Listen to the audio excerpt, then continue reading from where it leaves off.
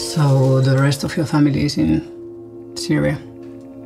Oh, yeah, all of them. I can't even imagine how hard it must have been. You feel unwanted, you feel you're pushed away.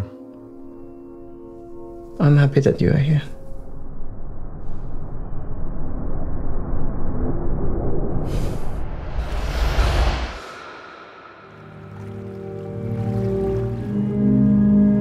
I always felt that it's not fair. That if I just go to other places, I can be accepted and respected. I can be just myself. I know the feeling. I was so focused on running away. I never thought this would happen here. It's funny how it's so different here. I feel so free. Música